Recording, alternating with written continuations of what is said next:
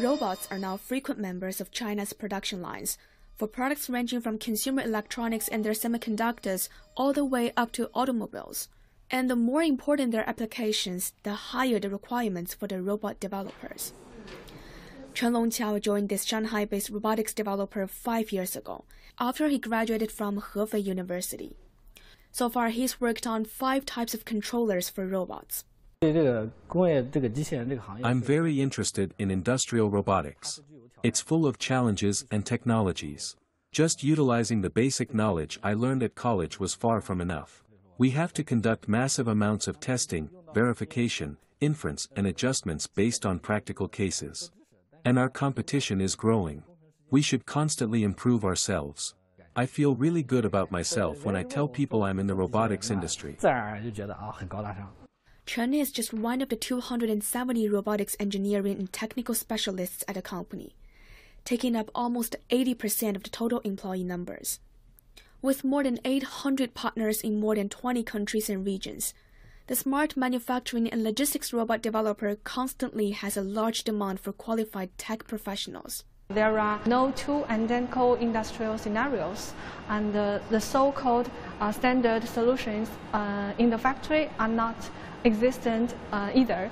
Uh, so based on this, they will increase their uh, our investment of R&D and expand the talent pool in both hardware and software, like the robotic control algorithm and the operation system, dispatching system, and the digital system. In June, the Ministry of Human Resources and Social Security formally recognized 18 new occupations with robotics engineering technician being one. The profession is responsible for the research and development of robot control algorithms and operating systems. China has been the world's largest market for industrial robots for eight consecutive years. The output of the country's industrial robots hit a record high of 366,000 units in 2021, up almost 68% from a year ago, during which the output of the country's service robots jumped almost 50%. In driving such rapid growth, the robot engineers and technical professionals have already played a major role. So what's behind the official recognition of the position by the government now? The new occupation is a strong signal to encourage a new and long-term investment in robotics and advanced manufacturers, and to solve the talent supply-demand mismatch on job market. So for the young student, industrial robotic occupation is clearly a new and also a sustainable career path for personal development.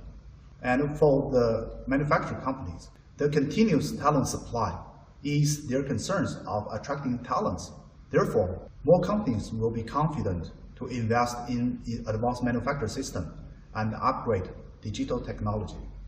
The Ministry of Industry and Information Technology says that during the current national five year plan, the operating income of China's robotics industry between 2021 and 2025 is expected to grow at an average annual rate of 20%. Zhang Money Talks.